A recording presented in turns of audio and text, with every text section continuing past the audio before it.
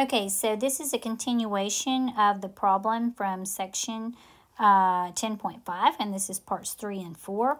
Uh, we still are choosing four people from a total of 25, 21 students and four faculty, and the total number of possibilities for 25 choose four is 12,650. Part C asks us if we choose all students. So our part, of course, is going to be, we have uh, 21 students we are going to choose for. Okay, so that's going to give me 21 factorial over 4 factorial times 21 minus 4 factorial. Okay, that's going to, of course, give me 21 factorial over 4 factorial times 17 factorial. This leaves me with 21 times 20 times 19 times 18 all over 4 times 3 times 2 times 1. Uh, when I put that into the calculator, we find that that is going to give me um, divided by uh, 4 times 3 times 2. That gives me a possibility of 5,985. That's the part. Remember, once again, we are finding the probability. And so I know my probability is going to be 5,985 out of the whole, which is going to be 12,650.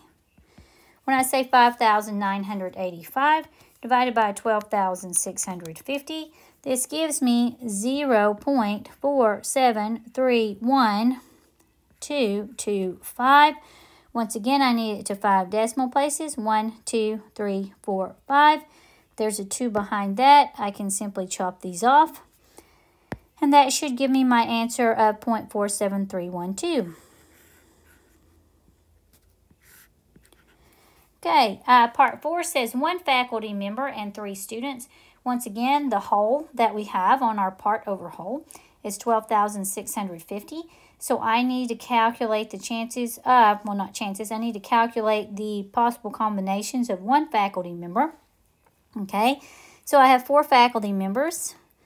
I'm going to choose one. So that gives me 4 factorial over 1 factorial times 4 minus 1 factorial. That gives me 4 factorial over 1 factorial times 3 factorial, which is 4 over 1, which is 4. Okay, now I need to have one faculty member and three students. So I have 21 students. I'm going to choose 3. So that's uh, 21 factorial over uh, 3 factorial times 21 minus 3 factorial. That's going to give me 21 factorial over 3 factorial times 18 factorial. Uh, that will leave me with 21 times 20 times 19 all over 3 times 2 times 1, which is going to give me 21 times 20 times 19. 7980 over 6, which is really uh, 1,330. So when I'm calculating that probability, that's going to give me, of course I'm doing probability, of one faculty and three students. So that gives me um, four, choose one times 21, choose three, all over, uh, 25, choose 4. That 25 doesn't look nice. Let me fix him. 25, choose 4.